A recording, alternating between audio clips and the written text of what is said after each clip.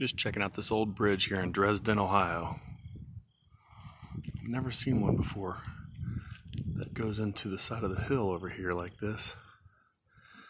But then you can drive on it like that. Interesting.